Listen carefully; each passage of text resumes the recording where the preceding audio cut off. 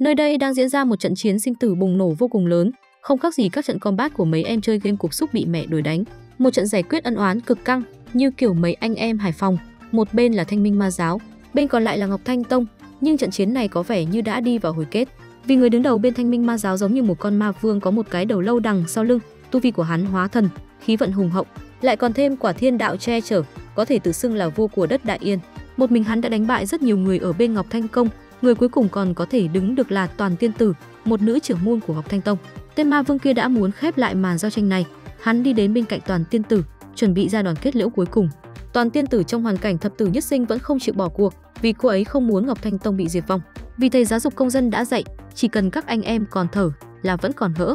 Toàn Tiên Tử vẫn chút sức ít sức lực còn lại của mình, lao lên tấn công tên giả Thanh Minh giáo kia. Nhưng lúc còn nguyên vẹn đã không đánh nổi, bây giờ bị thương nặng như vậy chẳng khác nào lấy trứng đập kim cương. Tên giả kia chỉ quẹt nhẹ một trưởng đã khiến Toàn Tiên Tử đứng lại. Cảm tưởng như mình đã về với các cụ thì có một đường kiếm vụt sáng lóe qua rồi chặn lại phút giây sinh tử đó cứu lấy cô ấy. Thanh kiếm ánh sáng kia còn vụt qua người của tên Thanh Minh giáo. Hắn thấy có người làm hỏng chuyện vui của mình thì rất tức giận, quay người lại xem thằng trẻ trâu nào đã phá hỏng cuộc chơi của mình. Không ngờ đó chỉ là một cậu trai trẻ. Nhưng cậu trai trẻ này chính là chính là nam chính của chúng ta. Cậu ta đã đến để cứu lấy toàn tiên tử, cũng như cứu lấy Ngọc Thanh Tông. Cậu ta là một khổ hội tu sĩ nhỏ bé dưới trướng toàn tiên tử thuộc Ngọc U Phong của Ngọc Thanh Công. Hàn Tuyệt, tên kia thấy một người khổ tu sĩ lại dám đứng ra khiêu chiến mình thì càng thêm tức giận. Hắn tỏa ra luồng sức mạnh hắc ám không hề bình thường. Toàn tiên tử thấy vậy thì bảo Hàn Tuyệt lùi ra đằng sau, kêu cậu ta nhân lúc cô ấy còn gắng gượng được thì mau chạy đi. Nhưng nếu Hàn Tuyệt chạy được thì đã chạy từ lúc nãy rồi. Cậu ta đến đây chính là để bảo vệ mọi người, bảo vệ những điều chân quý mà toàn tiên tử đang dùng mạng sống của mình để đổi lấy nó. Hàn Tuyệt ngầu lời kêu toàn tiên tử lùi lại đằng sau một tí trả lại vướng tay chân của anh, rồi cậu bắt đầu vài bài tập thể dục để giãn cơ. Rồi lại như một tia sét xuất hiện trước mặt tên ma vương kia, Hàn Tuyệt nắm chặt bàn tay của mình lại. Cùng lúc đó xung quanh cậu còn có vô số con rồng hướng hàm răng của mình về lão ma vương kia. Lão già kia vẫn đứng ở đó, từ đôi mắt đến hành động như kiểu bảo mày đánh trước đê, anh chấp chú. Rồi còn phải nói, Hàn Tuyệt làm gì thì phải để nhiều tập sau anh em mới biết. Còn bây giờ chúng ta mới bắt đầu vào chuyện, vào cuộc hành trình trở nên mạnh mẽ của Hàn Tuyệt, trả lời cho câu hỏi tại sao cậu lại tự tin như vậy với một tên ma vương đã có tu vi hóa thần. Chúng ta trở về với năm Hàn Tuyệt mới chỉ có 11 tuổi, vốn là một thanh niên đến từ thế kỷ 21 của trái đất, được chuẩn đoán mắc ung thư giai đoạn cuối từ khi còn rất trẻ. Vì không muốn tiếp tục chịu đau khổ hộ khi chữa trị nữa, nên cậu đã về nhà chờ Diêm Vương đến bắt mình đi. Trong lúc này thì cậu đã tải một trò chơi tu tiên cũ để làm tê liệt đau đớn người, không ngờ chơi mãi thì người cũng mất.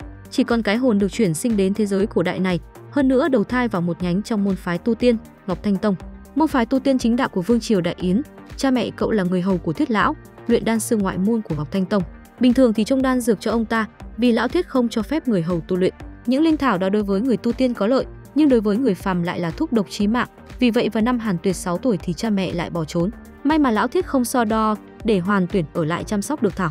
Cứ như vậy cho tới bây giờ, điều quan trọng sau khi Hàn Tuyệt trọng sinh thì đã mang theo hệ thống thần kỳ, nhưng cái hệ thống này không được như mấy nhân vật trong game. Nó giống như kiểu bảo người ta xem nhân phẩm của mình hôm nay thế nào, mỗi ngày hệ thống chỉ có thể đổ xúc sắc một lần chọn tư chất linh căn và tiên thiên khí vận. Nhưng 11 năm đã trôi qua, Hàn Tuyệt quay trả được cái gì, cậu định sẽ tiếp tục chơi kiểu đỏ đen này đến năm 30 tuổi. Nếu lúc đó có được thuộc tính nghịch thiên thì mới bắt đầu dùng hệ thống tu luyện. Sáng hôm sau, Hàn Tuyệt vẫn tiếp tục thử xem hôm nay mình có son không, nhưng cái hệ thống kêu vẫn chiêu cậu. Hàn Tuyệt cay đến tận nóc, nhưng cậu vẫn còn có một lần tiên thiên khí vận để quay thử và cuối cùng thì cậu cũng đã mở ra đồ ngon, một lần mở ra bốn tiên thiên khí vận siêu phẩm. Ôi rồi ôi, quả này thì phát tài rồi, bây giờ Hàn Duyệt chỉ cần chuyên tâm đủ tư chất linh căn là có thể tu luyện. Điều này càng tiếp thêm hy vọng cho cậu để sống cuộc đời thứ hai thật rực rỡ. Giới tu tiên rồi sẽ để một chỗ trên mâm các cụ cho cậu. Đang hưởng cảm giác khoái lạc thì trong làng lại có hai tu sĩ từ nội môn của Ngọc Thanh Tông tới. Mấy người dân làng nhìn hai vị tiên nhân từ tu tiên tới thì rất ngưỡng mộ, khen ngợi hết lời. Hàn Tuyệt thấy mấy lời khen này thì nhổ một phát nước bọt, tự khẳng định sau này mấy tên kia phải gọi mình bằng cụ để cho người đời ngưỡng mộ mình như bọn họ. Hai vị tiên nhân kia vừa đến đã thông báo từ hôm nay bọn họ sẽ phụ trách bảo vệ dược viên và còn cảnh báo những người nông dân ở dưới không được làm phiền họ tu tiên Hàn Tuyệt nghe thấy thì có hơi bất ngờ, vì nơi này bình thường là được Thiết lão bảo vệ, nếu như có người khác đến chẳng phải Thiết lão gặp chuyện rồi sao? Một trong hai vị tiên nhân kia thấy mọi người lo lắng cũng lên tiếng giải thích rằng Thiết lão đang bận đi giải quyết mấy tên ma tu lừng vần quanh đây, nên tông môn đặc biệt bảo hai người bọn họ tới bảo vệ, mà cô gái này tên là Hình Hồng Toàn. Có thể nói là rất xinh đẹp, lại còn sexy. Hàn Tuyệt thấy lão thiếp không làm sao thì trong lòng bớt lo lắng, vì bây giờ cậu vẫn chưa quay ra được tư chất linh căn cực phẩm. Trong người chẳng có tí võ gì nên không có người bảo vệ thì rất nguy hiểm. Điều cậu cần làm bây giờ là thật nhanh quay ra một cái linh căn cao cấp giúp mình bảo vệ tính mạng. Nhưng mà cái hệ thống kia vẫn cứ chơi Hàn Tuyệt, hai năm trôi qua mà cậu chẳng quay ra được cái linh căn cao cấp nào. Phải nói cậu tức muốn chửi thề luôn, đang suy nghĩ bắt óc làm sao để có linh căn thì bên ngoài lại có tiếng người nói, thì ra là Thiết lão đã trở về. Ông ta là chủ nhân ở đây nên mọi người thấy ông ta về thì rất là cung kính, người nào mở mồm cũng nói những lời định bợ với Thiết lão. Hàn Tuyệt biết những lời định bợ này cũng không có tác dụng gì nên chỉ vêu mồm lên khinh, nhưng đang định chuẩn về thì bất ngờ ông ta gọi cậu và một số thanh niên khác đã bị Thiết lão gọi lại. Thiết lão gọi mấy thanh niên này tới là để kiểm tra linh căn trên người họ. Hàn Tuyệt cảm thấy sao nó là quá, tại vì ông ta trước giờ không cho phép nó bọc tu luyện, tại sao đột nhiên khác thường như này? Chẳng lẽ là Hàn Tuyệt để ý đến vết máu trên người Thiết lão, có nghi ngờ, nhưng đúng lúc này Thiết lão lại gọi Hàn Tuyệt đến để kiểm tra. Hàn Tuyệt sợ vãi đái, cậu nghĩ bụng không biết có phải lão già này đang định dùng những thanh niên có linh căn làm đỉnh lô cho việc tu luyện của ông ta đấy chứ. Nhưng may quá, Hàn Tuyệt vẫn chưa có linh căn nào trên người, thế là cậu đã thoát được một lần. Nhưng đến thanh niên béo tiếp theo thì lại không may mắn như vậy, trên người cậu ta có linh căn không tồi, thế là đã bị lão thiết bế đi. Mấy người dân làng ở dưới thấy thanh niên này được lão thiết đem đi dưới cái danh đổ đệ thì khen hết lời. Nhưng chả ai ở đây ngoài Hàn Tuyết nhận ra sự thật của câu chuyện này. Cuộc sống cứ thế trôi đi đến 3 năm sau, tất nhiên là Hàn Tuyệt vẫn ngày ngày Tết nhân phẩm của mình. Và cuối cùng ngày đó đã đến, cậu cuối cùng cũng đã mở ra được linh căn và không thể tin được. Hàn Tuyệt có thể mở ra linh căn đỉnh cấp 6 loại thuộc tính phong, hỏa, thủy, thổ, mộc, lôi. Đây đúng là kiên trì quay tay vận may sẽ đến, các cụ nói quả là không có sai. Chỉ là chưa có cụ nào được dùng hệ thống đỏ đen giống như Hàn Tuyệt. Nhưng mà cậu nhớ ra, lão thiết kia nếu biết cậu có linh căn đỉnh cấp 6 lại thuộc tính thì có mà lục cậu ăn tại trận luôn. Đang khổ tâm không biết làm sao thì cậu lại được hệ thống cứu. Nó thông báo có thể giúp cậu tạo kết giới, tu sĩ bên ngoài kết giới không thể phát giác được sự thay đổi bên trong kết giới, có nghĩa là nó có thể giúp Hàn Tuyệt che giấu tu vi. Giờ cây cao gối ngủ cũng không sợ thằng nào vào đòi nợ mình, giờ thì kéo màn show diễn mà cậu đã đợi từ lâu này thôi. Hàn Tuyệt kích hoạt tu luyện ở trong hệ thống. Hệ thống thông báo Hàn Tuyệt có ý muốn thức tỉnh truyền thừa tiên đế, còn có được công pháp lục đạo luân hồi tuyệt thế, bắt đầu từ bây giờ bước vào con đường tu hành. Rồi nó cho cậu chọn con đường tu luyện chính của mình. Hàn Tuyệt độc ở đây gồm có kiếm tu, lôi tu, hỏa tu, thủy tu, mộc tu, phong tu, trên người Hàn Tuyệt bây giờ có 6 loại thuộc tính, mà tu luyện một loại thì lại rất thiệt những cái kia, cho nên kiếm tu mới là hướng phát triển thích hợp nhất của cậu. Nhưng ngợi một hồi rồi cậu quyết định chọn kiếm tu, chọn xong thì hệ thống bắt đầu đưa cậu vào tu hành. Hàn Tuyệt lần đầu cảm nhận được cảm giác của người tu hành thì có thấy hơi lạ, không biết có phải phê phê như mới chơi đồ nóng không, một khi bản thân nam chính đã bước lên con đường tu hành. Ngàn năm đều là giấc mộng, không thể nghịch chuyển tự biết lấy mình, hệ thống sẽ biểu hiện thuộc tính của cậu lên. Từ đó Hàn Tuyệt có thể nâng cấp mình, cậu ta còn phát hiện ở trên bảng điện tử còn có thêm cả mục chọn quan hệ. Nhấn vào xem thì cậu thấy được quan hệ, thiện cảm của người khác đối với mình và người đầu tiên cậu nhìn thấy trong chỗ quan hệ này là Thiết Lã. Ở đây nó còn biểu hiện cả tu vi của người có quan hệ và thù hận hoặc thiện cảm biểu hiện bằng sao. Hàn Tuyệt chỉ không ngờ là Thiết Lão lúc nào cũng nhầm nhà Hàn Tuyệt có linh căn là đem đi nấu lẩu luôn. Cậu ta cay đến nỗi nghiến nước cả răng, nhưng biết phải làm gì chứ? Chỉ có tu luyện thôi. Ở tập trước Hàn Tuyệt, nam chính của chúng ta nhờ hệ thống thần kỳ mà quay ra được linh căn tuyệt phẩm 6 loại thuộc tính. Cùng với tiên thiên khí vận trong người nên cậu đã kích hoạt chế độ tu luyện trong hệ thống. Hàn Tuyệt tự đặt ra cho mình mục tiêu, cậu sẽ tu luyện tới khí cửu tầng rồi sẽ rời khỏi dược viên. Đến lúc đó cho dù Thiết lão có nhận ra thì Hàn Tuyệt cũng không cần phải lo lắng, nhớ có phang nhau thì chưa biết ai là bố ai là con đâu. Nói như thế chứ việc quan trọng nhất bây giờ đối với cậu là phải bắt tay vào tu luyện. Hàn Tuyệt lần đầu được va chạm với những linh khí, nhưng đen cho cậu là chỉ có linh khí của phong thổ mộc thủy, không hề có hai loại ngon của hỏa và lôi linh khí. Vừa loằng ngoằng một lúc thì hệ thống lại đưa ra nhiệm vụ để lựa chọn. Một thiên kiêu tuyệt thế phô trương, có thể có được một thanh pháp khí luyện khí cảnh. 2. Tu luyện khiêm nhường, có thể mở công năng che giấu tu vi và giấu hẳn linh căn. Hàn Tuyệt không nghĩ nhiều, để an toàn thì cậu chọn mục thứ hai. Gió thổi gà bay, thoáng cái đã 2 năm kể từ khi Hàn Tuyệt bắt tay vào việc tu luyện, với việc trong người có 4 thuộc tính nên cậu rất dễ phối hợp, dùng thuộc tính này để hỗ trợ thuộc tính kia, áp dụng vào việc nuôi trồng dược thảo, Hiện nay bốn loại linh khí của Hàn Tuyệt đều đã tu luyện tới luyện khí cảnh thất tầng. Hiệu quả mà không cần xem quảng cáo, tu luyện đối với Hàn Tuyệt không chỉ có lợi mà nó còn có tác dụng phụ. Từ khi bắt đầu tu luyện thuộc tính mị lực của Hàn Tuyệt cũng lộ ra. Nó làm mấy em gái trong dược viên nhìn thấy Hàn Tuyệt mà muốn tăng huyết áp, nhồi máu cơ tim, thường thì rất muốn được mấy em gái để ý. Nhưng với người ngoài hành tinh như Hàn Tuyệt thì không, đang buồn giàu vì sáng ra đã thấy mình quá đẹp trai thì cậu bị hình hông tuyền gọi ra khu rừng nhỏ để nói chuyện.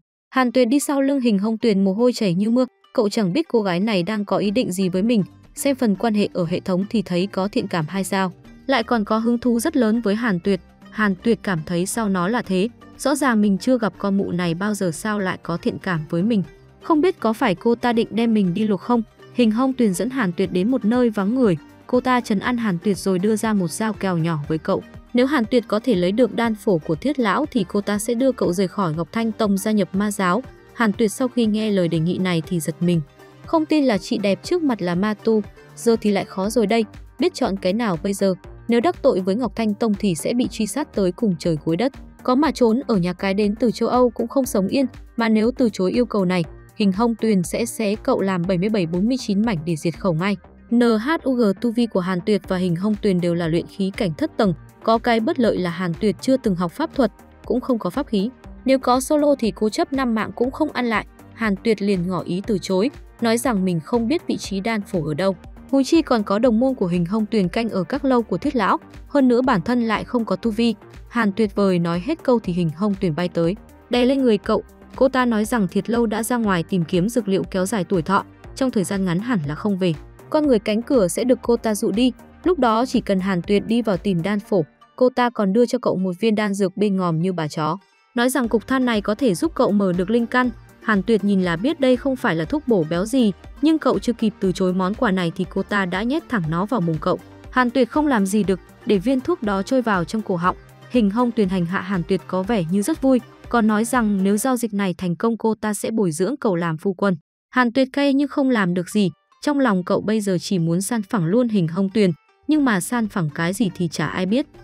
Hàn Tuyệt về đến nhà là nôn cái viên thuốc đen ngòm kia ra luôn, cậu không biết bây giờ phải làm gì, nếu nghe lời hình hồng tuyền thì chắc chắn làm xong cũng lành ít sự nhiều.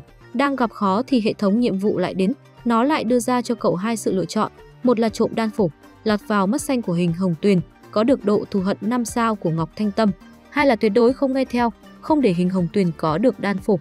Nếu thực hiện được điều này thì cậu sẽ có được kiếm pháp, tuyệt chỉ thần kiếm. Hàn Tuyệt suy nghĩ trong khoảng chừng là 2 giây, thôi thì cậu nghe theo lời thầy huấn, liều thì ăn nhiều, không liều thì vẫn húp, Hàn Tuyệt chọn phương án thứ hai để có được tuyệt chỉ thần kiếm. Trời cứ thế trở về tối, Hình Hồng Tuyền bí mật đến gặp Hàn Tuyệt để thông báo nơi cất giấu đan phổ, chỉ đạo cậu tí nữa lúc cô ta dụ thủ vệ ở các lâu của khiết lão đi, thì Hàn Tuyệt phải nhanh chóng vào thực hiện công việc, lúc tìm đan phổ còn phải cẩn thận, Hàn Tuyệt cắn răng vâng lời. Thời gian đã đến, cậu đến lâu đài cất giữ đan phổ của thiết lão, ở ngoài lâu đã có một cái xác, người này là vị tiên nhân hay đi bên cạnh hình Hồng Tuyền. Chắc hẳn anh ta cũng không ngờ mình lại chết vì gái, lại là người đồng đội hay đi bên mình, quả thật cái chết này tê dái. Hàn Tuyệt cũng chỉ biết cầu nguyện cho bản thân trước sự tàn ác của Hình Hồng Tuyền. Lúc này, Hình Hồng Tuyền cũng đã dụ hết người canh của Thiết lão đi. Hàn Tuyệt chịu khổ bước vào tìm đan phổ, nhưng tìm mãi mà chả thấy chỗ đổ đan phổ ở đâu. Nhưng cậu để ý là đồ ở đây cái gì cũng được rát vàng, cảm giác như đang ở chỗ mấy anh Dubai. Đang thành thơi thì đột nhiên Hình Hồng Tuyền xuất hiện. Hình Hồng Tuyền thấy Hàn Tuyệt không có ý muốn giúp mình tìm gian khổ nên định ra tay diệt khẩu.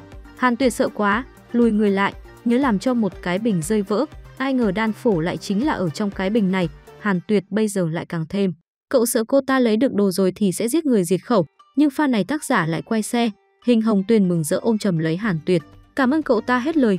Hàn Tuyệt trong cảnh này có hơi buồn, vì cậu đã giúp Hình Hồng Tuyền có được đan phổ, làm thất bại đi nhiệm vụ để có được tuyệt chỉ thần kiếm. Nhưng cậu lại phát hiện ra khí tức của Hình Hồng Tuyền hình như không được ổn định, cậu phân vân có nên xiên làng ta không?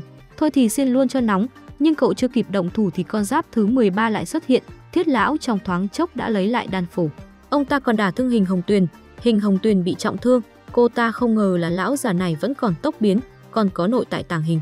Ông đến đây mà chả thằng nào để ý, thiết lão cũng không để hình hồng tuyền xả hơi, lao lên tấn công liên tục, hình hồng tuyền bị thương.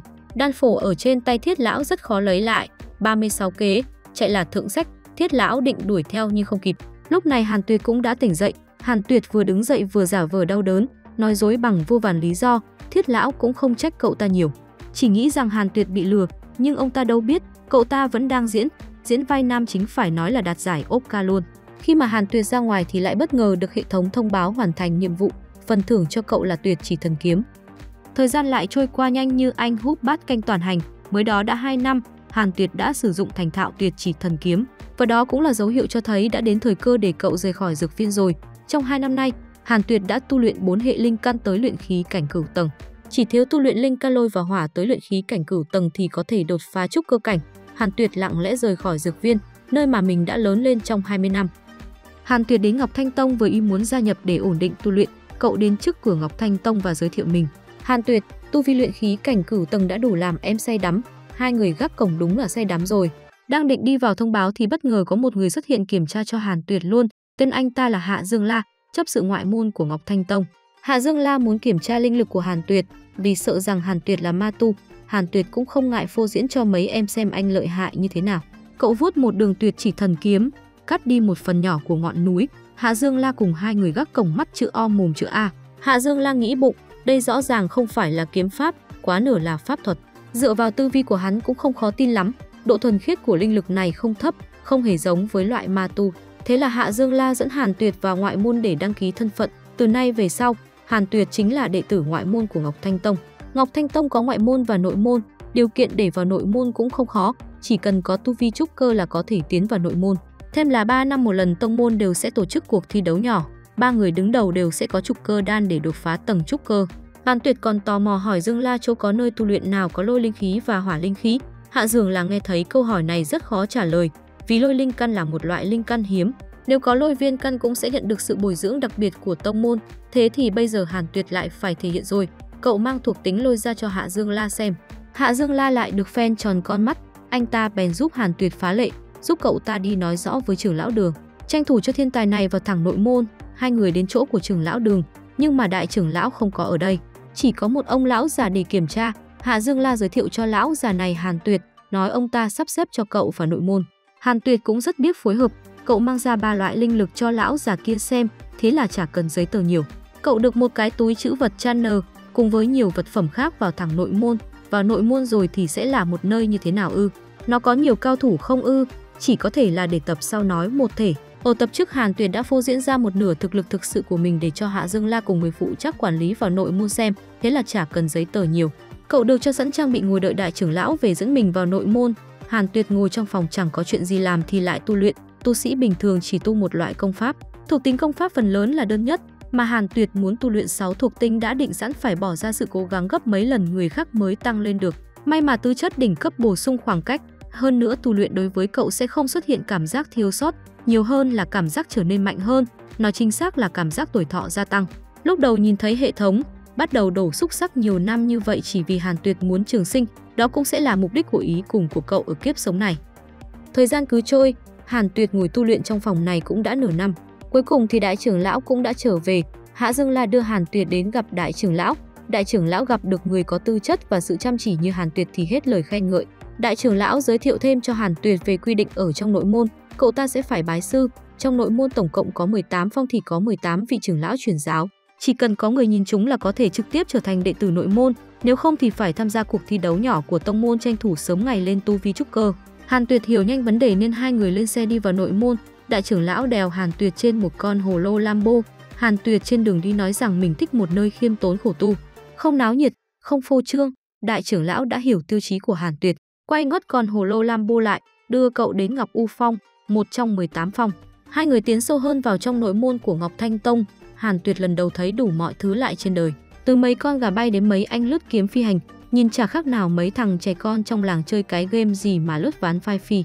Sau một hồi thì đại trưởng lão đã đưa được Hàn Tuyệt đến Ngọc U Phong, trong 18 phong, Ngọc U Phong là thấp nhất, là một nơi yên tĩnh hẻo lánh, cũng không phải vì nguyên nhân gì khác, trưởng lão quản lý của Ngọc Vũ Phong là Hy Tuyền tiên tử. Chu vi của làng ta cao thâm khó lường, hơn nữa thích bế quan tu, nên ở đây cực kỳ yên tĩnh. Về cơ bản đều là người khổ tu, bây giờ thì khỏi bàn cãi gì nữa. Nơi này đứng là sinh ra để dành cho Hàn Tuyệt.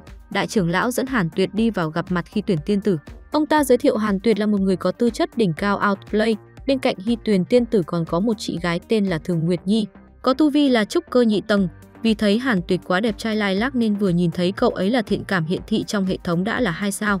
Nhưng nghe thấy Hàn Tuyệt nói mình chỉ muốn tu luyện trăm năm không muốn ra ngoài thì trái tim của cô ấy tan vỡ, cứ tưởng có trai đẹp là thoát ấy nhưng cuối cùng chỉ là mơ. Khi tuyển tiên tử thấy lòng quyết tâm của Hàn Tuyệt thì muốn thử sức cậu ta, kêu Hàn Tuyệt tấn công mình xem nào. Hàn Tuyệt vâng lời, vuốt một đường tuyệt chỉ thần kiếm vào người Hy Tuyền tiên tử, nhưng đường kiếm này chưa kịp chạm vào người cô ấy thì đã tan biến, màn kiểm tra đã xong. Với thiện cả một sao thì Y Tuyền tiên tử chấp nhận Hàn Tuyệt, kêu Thường Nguyệt Nhi đưa Hàn Tuyệt tới nội môn đăng ký, xong xếp cho Hàn Tuyệt một cái động tiên để ở.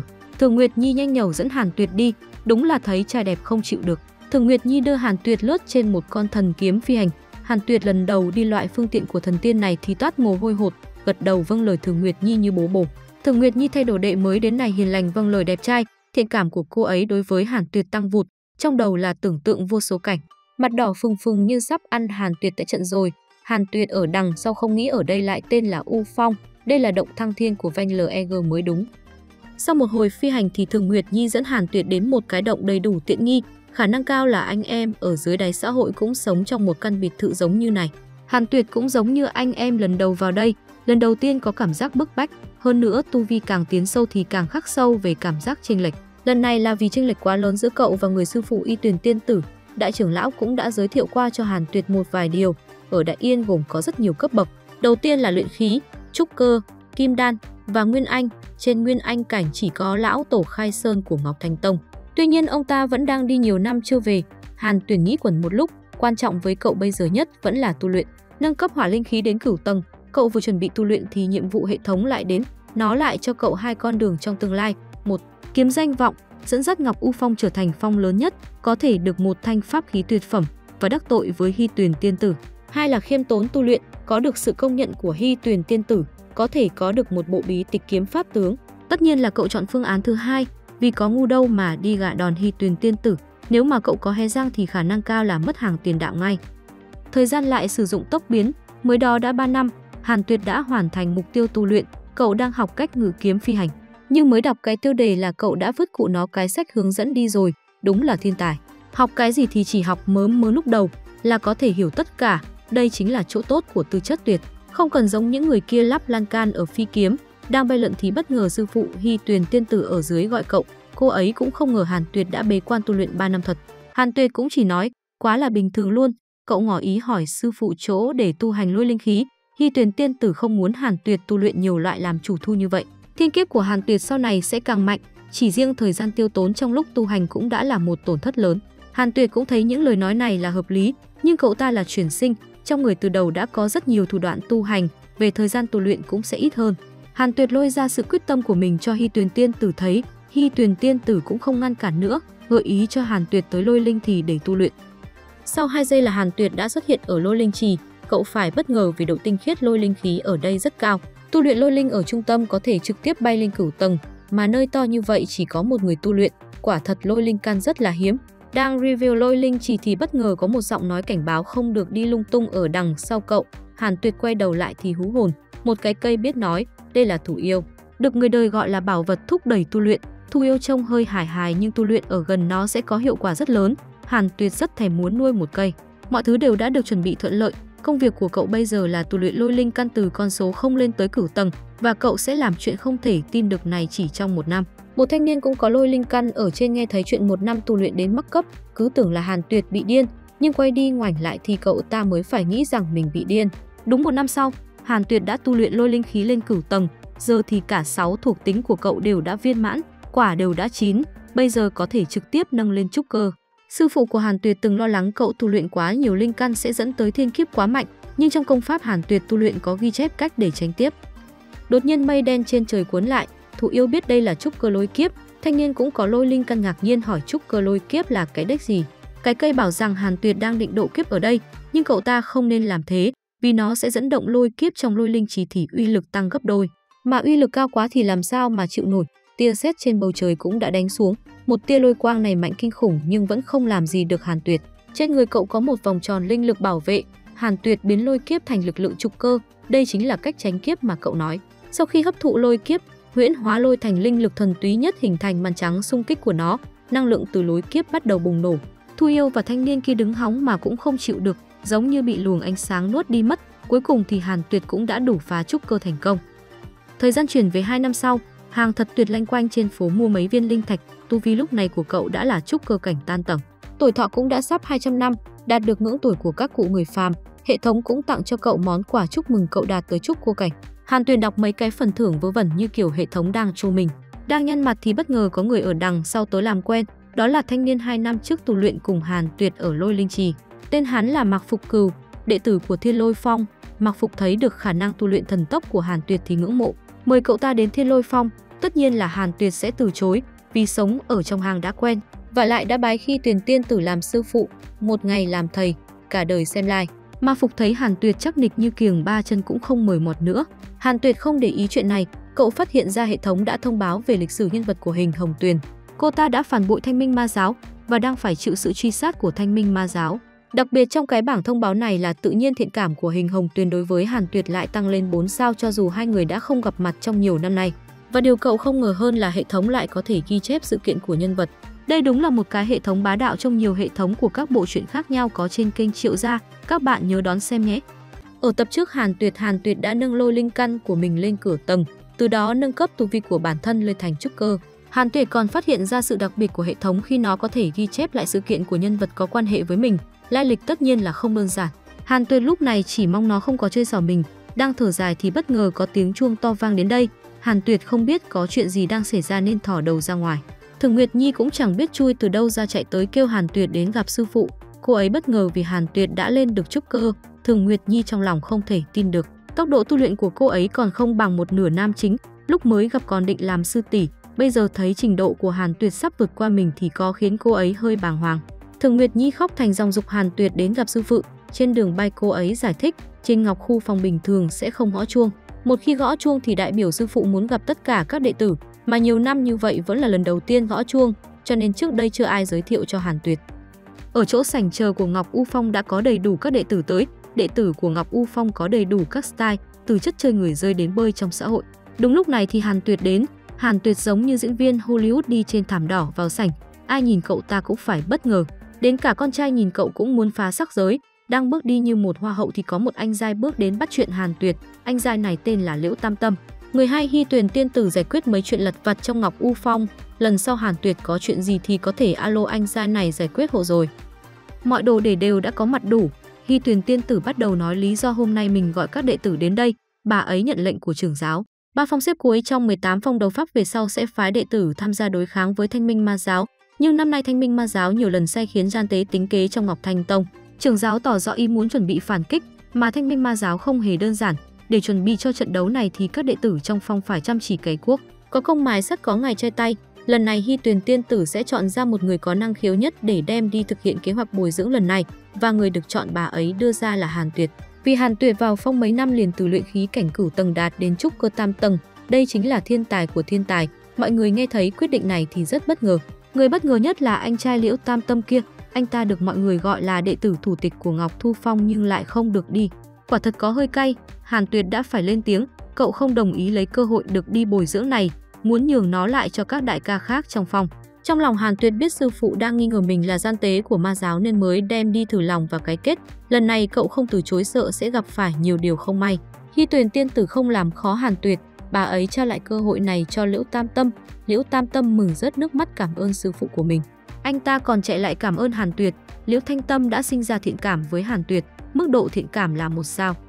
Hai người đang nói chuyện thì Thường Nguyệt Nhi chạy lại cuốn lấy Hàn Tuyệt, Liễu Tam Tâm cũng hơi bất ngờ vì Thường Nguyệt Nhi đã có một đề đề tài năng ở dưới trướng. Liễu Tam Tâm nhìn Hàn Tuyệt với ánh mắt sắc sảo đầy hàm ý, có lẽ anh ta thúc giục Hàn Tuyệt húp húp húp, sau đó thì Liễu Tam Tâm rời đi. Thường Nguyệt Nhi muốn thay đổi không khí dù Hàn Tuyệt đi làm nhiệm vụ tông môn để lấy tài nguyên tu hành, nhưng tất nhiên là Hàn Tuyệt không đồng ý vì cậu ta sợ chết. Mạng sống đối với Hàn Tuyệt là quan trọng nhất, Thường Nguyệt Nhi cũng không hiểu bọn họ là tu sĩ sao có thể sợ chết. Hàn Tuyệt với biểu cảm dằn vặt hỏi sư tỷ không sợ chết, vậy tu tiên làm gì? Thường Nguyệt Nhi cứng họng, quên muốn chui xuống đất ở. Hy Huyền tiên tử ở xa, thấy Hàn Tuyệt sợ chết như vậy thì có thể khẳng định cậu ta tuyệt đối không phải là gian tế ma tông. Nhưng 18 tu lại không thiếu tài nguyên, thiên tư thượng đẳng, bà ấy vẫn phải quan sát thêm. 10 năm sau, Hàn Tuyệt đến Lôi Linh chỉ để tu luyện Lôi Linh căn, thụ yêu bất ngờ khi 10 năm qua cậu ta vẫn là trúc cơ tam tầng. Hàn Tuyệt chỉ biết xoa đầu, cười cười không giải thích, thực ra cái mà Thu Yêu thấy là Lôi Linh căn tam tầng. Trước đó Hàn Tuyệt đã tốn gần 400 linh thạch thượng phẩm mới tu được các linh căn khác tới trục cơ ngũ tầng, tu vi thực tế cũng xem xem trúc cơ ngũ tầng. Mục đích của cậu khi đến đây là muốn dùng ít linh thạch nhất tu luyện lôi linh căn tới viên mãn, để bằng các linh căn khác. Đang định vào việc thì lại có người quen tới thăm, đó là Mạc huynh cùng với tiểu muội của huynh ấy tên là Mạc Trúc. Mạc Trúc vừa xuất hiện đã giống như một bông hoa nở rộ, nhưng có lẽ bông hoa này chưa chín lắm. Cô ấy nhìn tu vi của Hàn Tuyệt thì có hơi khinh. Nói rằng nhiều năm như vậy mà Hàn Tuyệt vẫn là trúc cơ cảnh tam tầng, câu này vừa thốt ra thì đã bị vả bôm bốp. À, đấy là người ta đọc nhầm chuyện. Hàn Tuyệt không bị mấy lời nói kia làm nản lòng, cậu ta ngồi xuống một chỗ đắc địa, kêu hai anh em kia tránh xa ra, chờ tí xem anh tu luyện lại há không ngậm được mồm. Mạc Trúc vẫn coi thường Hàn Tuyệt, tự tin nói rằng nếu là mình 10 năm sớm đã đột phá hai tầng coi như là trình độ thiên tài rồi. Mạc Trúc vừa sĩ được khoảng chừng là 2 giây thì bị cứng họng, hai con mắt mở to nhìn người vừa bị mình coi thường thể hiện, Hàn Tuyệt đã hút hết linh khí trong một khoảng rộng. Điều này ngay cả Mạc Phủ cũng không làm được. Mạc Phủ có thể chắc chắn một phần là tu vi mà họ nhìn thấy ở Hàn Tuyệt chỉ là một nửa. Chứ thực lực thực sự của cậu ta khi so đo với bọn họ phải nói là như bố với con. Sau màn thể hiện này thì độ thiện cảm của Mạc Phục và Mạc Trúc đều đã tăng lên là hai sao. Thời gian thấm thoát thoi đưa, 6 năm qua đã như mưa buổi chiều. Hàn Tuyệt đã tu luyện ở lôi linh trì trong vòng 6 năm. Lôi linh lực cuối cùng cũng tu luyện tới cửu tầng viên mãn. Mục tiêu được hoàn thành nên cậu sẽ đến nội môn để nhận lương. Thụ yêu thấy tài năng của Hàn Tuyệt, bật mí cho cậu ở chỗ ông ta có một cơ duyên có thể có được rất nhiều tài nguyên tu luyện. Nhưng nó hơi nguy hiểm một tí. Thu yêu vừa nói tới từ nguy hiểm thì cảnh chuyện đã đưa Hàn Tuyệt tới trung tâm dịch vụ lương bổng của nội môn Ngọc Thanh Tông rồi. Gì chứ nói đến nguy hiểm thì không bao giờ Hàn Tuyệt đi, sợ chết số 2 không ai dám làm chủ nhật với Hàn Tuyệt. Cậu ta thả ăn lương định kỳ còn hơn đi đến mấy chỗ nguy hiểm. Hàn Tuyệt vừa đứng xếp hàng để lấy lương thì mấy em gái bên ngoài đã như mấy con sói già chưa ngửi được mùi chai. Hàn Tuyệt không biết phải làm như thế nào vì mình đã xếp hàng rồi, giờ rút thì không kịp. Đột nhiên Mạc Trúc từ đâu ra khoác tay Hàn Tuyệt, lại nói làm có một cơ duyên cần Hàn Tuyệt giúp. Hàn Tuyệt không ngờ mình đi đâu cũng gặp cơ duyên. Lần này còn được quảng cáo là đại cơ duyên, cậu chưa để cho Mạc Trúc nói hết lời thì đã chuẩn. Đang núp bụi thì nghe được mấy em gái đi qua nói nhỏ tới trận tỷ thí của nội môn vào năm trước. Màn Tuyệt mới nhớ tới chuyện tỷ thí nội môn, cậu mải mê tu luyện quá mà quên cụ mất, cầu nguyện là sư phụ sẽ không lục mình. Hàn Tuyệt tới gặp Hy Tuyền tiên tử. Vừa mới gặp, lần đầu tiên, Hàn Tuyệt cúi đầu xin lỗi sư phụ của mình. Khi tuyên tử không trách tội cậu ta, chỉ có điều là hơi bất ngờ về tu vi. Sau nhiều năm như vậy mà Hàn Tuyệt vẫn là trúc cơ cảnh tầng 3, Hàn Tuyệt vì không muốn làm sư phụ buồn, cậu lôi ra thực lực thực sự của mình. Hàn Tuyệt đã là trúc cơ cảnh tầng 9, chỉ vì khiêm tốn mà che giấu tu vi, Thường Nguyệt Nhi và Hy Tuyền Tiên Tử đều phải thán phục với khả năng khổ tu của Hàn Tuyệt. Đúng lúc này thì phần thưởng hệ thống đã đến, một bộ bí tịch thân pháp và thất trùng huyễn bộ, đó là phần thưởng xứng đáng cho sự cày quốc không mệt mỏi của nam chính. Hàn Tuyệt sau một lúc nói chuyện mới nhận ra ở bên cạnh mình có người mới, ú oà, không ngờ đó lại là Thiết lão. Hàn Tuyệt cũng chỉ biết nở một nụ cười tự tin là đủ, nhưng với Thiết lão thì không đủ, ông ta rất bất ngờ, tự trách mình ngày xưa đã không đối đãi tốt với thiên tài như Hàn Tuyệt, giờ đây đã phải gọi Hàn Tuyệt làm sư huynh. Đúng là có không giữ mất thì mất luôn, bỏ qua chuyện đó, Hy Tuyền Tiên Tử nói chuyện chính với Hàn Tuyệt, bà ấy biết Hàn Tuyệt thích tu luyện, định sẽ đưa cậu ấy một nhiệm vụ đi chấn thủ vạn yêu dấu của Ngọc Thành Công. Hàn Tuyệt là có điểm rồi, Thường Nguyệt Nhi giải thích đây là nơi chân nuôi yêu sủng của Ngọc Thanh Tông. Cô ta cũng muốn đến đó chăn thả cùng với Hàn Tuyệt, nhưng Hy Tuyền Tiên Tử lại không cho, còn nói rằng ở đó đã từng có đệ tử bị giết chết rất tàn nhẫn. Hàn Tuyệt không thể tin được, nguy hiểm như vậy mà lại mời một người sợ chết như mình đi, chắn không buồn nói. Khi Thuyền Tiên Tử biết Hàn Tuyết sợ chết, vội chấn an cậu ấy rằng nơi đó an toàn lắm, linh khí ở đó lại còn rất nồng đậm, chỉ cần chú ý một chút là chắc chắn sẽ không sao. Hàn Tuyệt trong tình huống này không thể từ chối. Cậu sẽ chuẩn bị đi đóng vai người trông sở thú. Hàn Tuyệt cùng với Thường Nguyệt Nhi đi thu dọn đồ đạc, chỉ còn lại Thiết Lão và Hy Tuyền Tiên Tử. Khi Tuyền Tiên Tử nhắc nhở Thiết Lão một chút, nói ông ta hãy làm bạn tốt với Hàn Tuyệt, vì sau này Hàn Tuyệt sẽ là đệ tử chân truyền của Ngọc U Phong.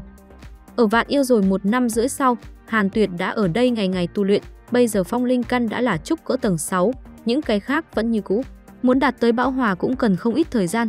Hàn Tuyệt chán quá nên vào phần quan hệ bạn bè để xem, phát hiện mà Trúc đã bị ma tu tập kích, lại còn bị đệ tử của Ngọc Thanh Tông tập kích thêm, sinh cơ chỉ còn một tia, rơi xuống vách núi, cậu ta cũng không biết phải làm như thế nào, chỉ cầu phúc cho cô ta chẳng làm sao. Đã đến thời gian đi tuần, cậu cũng thuận tiện luyện thêm thất trọng huyễn bộ. Hàn Tuyệt vừa bước ra ngoài cửa thì, thì làm sao? Làm sao thì các bạn nhớ xem tập sau nhé. Ở tập trước Hàn Tuyệt đã được sự phụ hy tuyển tiên tử giao cho nhiệm vụ đi trông coi sở thú. Hàng Tuyệt ở đây ngoài việc tu luyện ra cũng chẳng biết làm gì. Chỉ có cách một khoảng thời gian thì cậu đi tuần. Lần này Hàn Tuyệt đi tuần cũng là để luyện tập thêm thất trọng huyễn bộ. Cậu ấy vừa bước chân ra khỏi nhà thì gặp một con mèo rất là dễ thương. Nhìn qua là biết không nguy hiểm tí nào. Hàn Tuyệt tiếp tục công việc của mình, bỏ qua con mèo đáng yêu kia, nhưng khoảng chừng là hai giây sau con mèo đó bé biến thành một con hổ trắng. Nó nhảy tới, nhanh như chớp vuốt đôi móng của mình cắt đôi người Hàn Tuyệt, nhưng đó thật ra chỉ là phân thân của Hàn Tuyệt. Cậu lúc này vẫn đang đứng trên mái nhà quan sát, trong lòng sợ vãi chưởng, may mà trước đó đã nắm được thất trọng huyễn bộ. Nếu không pha nãy có ghi là cậu đi, Hàn Tuyệt không hiểu tại sao cấm chế trọng địa các lâu vậy mà không bị kích hoạt, lại đi con thú này vào đây, chứng tỏ nó rất là mạnh. Lần này Hàn Tuyệt sẽ phải trổ tài rồi. Hàn Tuyệt dẫm chân nhảy xuống, kèm theo đó cậu dùng thất trọng huyễn bộ. Thân pháp này mỗi tầng có thể phân hóa ra một đạo tàn ảnh, luyện đến đỉnh phong tầng thứ 7 thì có thể phân hóa ra đạo tán ảnh. Nó không chỉ giúp gia tăng tốc độ, đồng thời còn có thể mê hoặc kẻ địch. Vì con thú kia rất nhanh nên Hàn Tuyệt muốn dùng phân thân của mình để khóa các đường di chuyển của nó. Cậu ta nhanh chóng bao vây lấy con hổ trắng, rồi dùng tuyệt chỉ thần kiếm, tạo thành những đường cắt trên người nó. Con hổ trắng bị thương nhẹ nên vẫn có thể chạy thoát. May cho con hổ này là thất trọng huyễn bộ chỉ có bản thể mới gây ra sát thương, nếu là phân thân cũng có sát thương. Nó tuyệt đối không sống được, nhưng cũng may mà nó chỉ có tốc độ nhanh, không có thủ đoạn công kích khác, nếu không là Hàn Tuyệt chuồn từ lâu rồi. Chỉ có điều con mèo đó có lai lịch gì mà có thể phớt lờ cấm chế đi vào đây, vạn yêu giới dạo này không được bình thường rồi, Hàn Tuyệt chỉ còn cách trình báo lên phường thôi.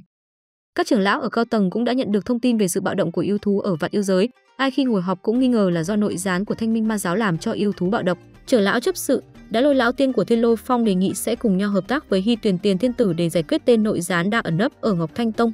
Mọi chuyện càng lúc càng căng. Hai năm sau, Hàn Tuyệt vẫn đang chăm chỉ tu luyện ở vạn yêu giới. Cậu dùng trận pháp cấm chế được phân bố ở đây để làm đồ tu luyện. Thực lực các linh căn thấp nhất cũng là trúc cơ lục tầng. Đang vui vẻ vì có món đồ tốt thì bất ngờ có tiếng nói chuyện với cậu ở đằng sau. Hàn Tuyệt hú hồn. Chẳng hiểu ông này đi vào từ khi nào, vậy mà không bị ảnh hưởng bởi cấm chế. Ông ta chỉ có thể là trên kim đan cảnh. Thì ra ông ta tên là Lý Khanh Tử, Ông tự giới thiệu mình cũng được sư phụ phái đến đây để trông coi bạn yêu giới. Điều bất ngờ hơn là Lý Khai Tử lại nhìn thấu tu vi của Hàn Tuyệt. Cậu không hiểu nổi người này chui từ hang nào ra, không biết có phải là Harry Maguire không. Lý Thanh Tử sau khi biết Hàn Tuyệt là đồ đệ dưới trướng Hy Tuyền Tiên Tử thì có hơi bất ngờ. Ông ta nói Hàn Tuyệt đã gây ra phiền phức rất lớn ở vạn yêu giới, rồi ông dẫn cậu đi xem. Hàn Tuyệt lúc này mới kiểm tra ở hệ thống xem lai lịch của Lý Khanh Tử là như thế nào. Chu vi của Lý Thanh Tử là nguyên an cảnh bát tầng, là trưởng giáo của Ngọc Thanh Tông, thì ra lúc nãy ông ta đã nói dối.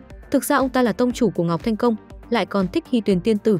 Lý Khanh Tử dẫn Hàn Tuyệt đến chỗ tập hợp mấy con thú. Ở đây quái vật gì cũng có, từ quái vật hồ lô OCH đến mấy con chỉ có ở Bình Dương, đặc biệt trong đó chính là con mèo mà lần trước Hàn Tuyệt đụng phải. Nó được gọi là hồ tâm bạch long, tính tình nóng như kem, bảo tính gặp là đánh. Lý Khanh Tử hỏi Hàn Tuyệt chơi bời kiểu gì mà lại trêu chọc hồ tâm bạch long. Hàn Tuyệt lúc này vẫn đang đứng hình, trong lòng cậu tưởng tượng ra cảnh sư phụ mình với Lý Khánh Tử đang tay trong tay người trong người âu yếm nhau. Hàn Tuyệt kịch liệt phản đối chuyện này, căn bản là Lý Khanh Tử không hề hợp với sư phụ mình một tí nào. Sau một lúc thì cậu mới nghe thấy câu trả lời của Lý Khanh Tử. Cậu kể lại chuyện mình gặp con hổ tâm Bạch Long vào hai năm trước. Lý Khanh Tử nghe hết câu chuyện, trong lòng tự hỏi nhiều điều, không biết Hàn Tuyệt đã làm gì mà có thể nhanh hơn cả hổ tâm Bạch Long.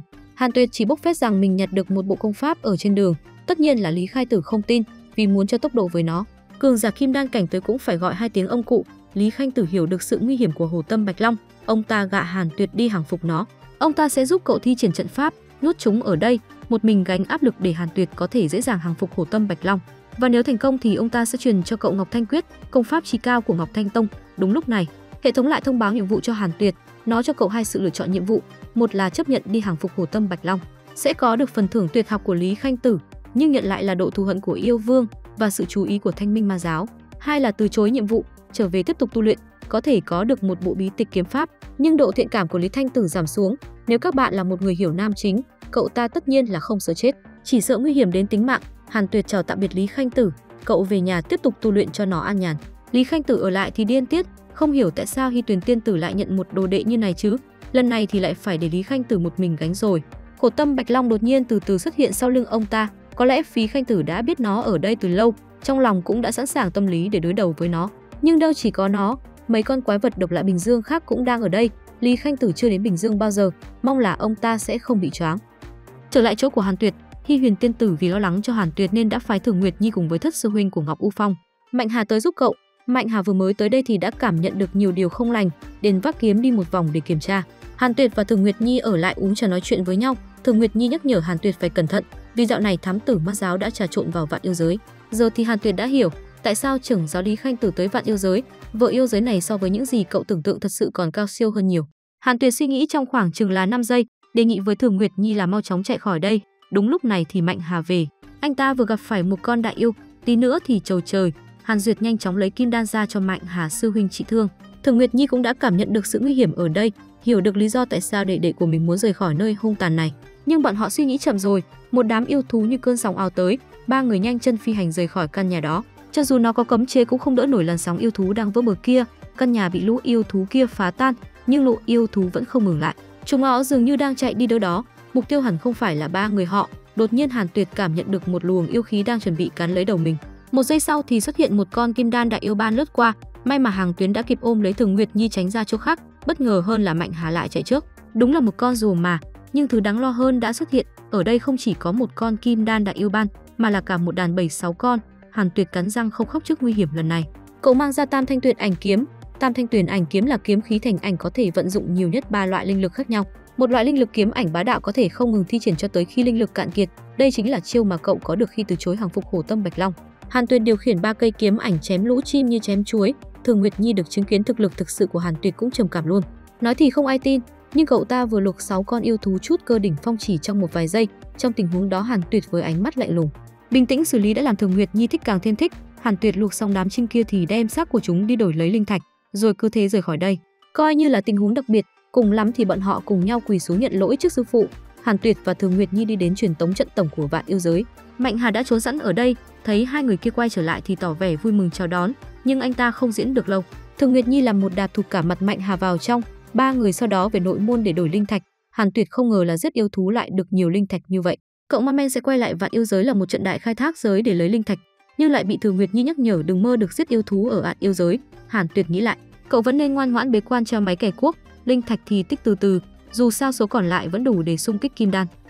Ba người sau đó đến xin lỗi Hy Tuyền Tiên Tử vì đã không hoàn thành nhiệm vụ. Hy Tuyền Tiên Tử cũng chỉ nhắc nhở họ một tí rồi cho Mạnh Hà cùng Thường Nguyệt Nhi lui xuống. Bà muốn nói chuyện với Hàn Tuyệt một tí, Hàn Tuyệt một mình đối mặt với Hy Tuyền Tiên Tử trong hoàn cảnh đang có lỗi, trong lòng cậu chỉ cầu nguyện không gặp phải rắc rối gì, để con về nhà cày cúc tiếp, có tu vi rồi mới có thể và mấy con vợ khác. Ở tập trước Hàn Tuyệt đã gặp phải nguy hiểm ở trong vạn yêu giới, nhưng những nguy hiểm đó chỉ là tôm tép với nam chính. Cậu vừa cứu bản thân vừa cứu Thường Nguyệt Nhi bằng một cách cực kỳ ngầu, khiến cho cô ấy muốn đánh chén Hàn Tuyệt ngay. Bọn họ vì sợ vạn yêu giới nên đã trực tiếp chạy khỏi đó, vì lo lắng nên Hàn Tuyệt đã rủ Thường Nguyệt Nhi và Mạnh Hà đến xin lỗi Hy Tuyền Tiên Tử. Hy Tuyền Tiên Tử không trách tội bọn họ, nhưng bà ấy muốn nói chuyện riêng với Hàn Tuyệt. Hàn Tuyệt sợ vãi đái, Hy Tuyền Tiên Tử hỏi cậu mục đích tu hành là gì. Hàn Tuyệt rất nhanh, nói thẳng là mình muốn được trường sinh bất lão. Hy Tuyền Tiên Tử nghe vậy thì cạn lời, nói rằng nếu cậu ta cứ mãi tu luyện thì sẽ chẳng bao giờ tìm được những thứ vui vẻ ngoài đời, những thứ vui vẻ, cơ duyên mà Hy Tuyền Tiên Tử nói đối với Hàn Tuyệt là không cần. Tiên phú không đủ mới cầu cơ duyên, nam chính của chúng ta lại là thiên chức khí vận vô song, thì cần quái gì phải va chạm với mấy thằng trẻ trâu. Hy Tuyền Tiên Tử phải toát mồ hôi với Hàn Tuyệt. Rõ ràng là mình trong vai sư phụ, nhưng lại chẳng dạy được cậu ta một cái gì. Hy Tuyền Tiên Tử chỉ còn cách chỉ cho cậu ta cách động phủ tiên thiên linh khí của mình. Bên trong chứa lôi linh khí còn có các linh khí thuộc tính khác, nó ở gần Ngọc Thanh Tông, nhưng điều kiện là phải nằm trong top 3 cuộc khảo hạch quyết đấu nội môn mới có được. Quyết đấu nội môn, Hàn Tuyệt vừa nghe đã nhăn mặt, vô vào câu hỏi trong đầu cậu, đầu tiên là có nguy hiểm không? Có ai tu vi kim đan hoặc trên kim đan tham gia? Có phải người tham gia khảo hạch nội môn đều là tu sĩ trúc cơ cảnh? hi Tuyên Tử tức giận khi nghe mấy câu hỏi này. Tất nhiên là những điều kia sẽ không có trong cuộc tỷ thí nội môn, mọi thứ đều an toàn, an toàn thì Hàn Tuyệt sẽ đi, món quà này cậu sẽ vui vẻ nhận lấy. Nhưng công việc đầu tiên của cậu để chuẩn bị vẫn là tu luyện, 8 năm nữa mới diễn ra khảo hạch nội môn. Điều cậu cần làm bây giờ là mau chóng tu luyện phong linh lực tới viên mãn thì có thể giảm một số linh thạch. Hàn Tuyệt thuê một nơi tu luyện ở tông môn, nơi đây có hoàn cảnh phong linh trì cực tốt. Giờ thì cậu có thể đưa 6 loại linh căn đều đạt tới trục cơ cảnh tầng 9 rồi. Đang nhôm nhăm miếng dưa hấu thì nghe có biến ở bên cạnh, một đám giang hồ bắt nạt một cậu trai trẻ. Hàn Tuyệt đứng từ xa cũng không biết bình luận như thế nào với cảnh này, đột nhiên hệ thống nhắc nhở, kiểm tra thấy có tiên thiên khí vận giả ở đây, không ngờ đó lại chính là cậu trai trẻ đang bị bắt nạt kia, cậu ta tên là Chu Phàm. Tu sĩ đại thừa chuyển thế, sâu trong linh hồn có dấu linh bảo, tuy là linh bảo của hắn đang bị thương nặng, hiện nay linh bảo đã gần được tu sửa thành công, Hàn Tuyệt cũng phải giật mình với cái thứ lai lịch này.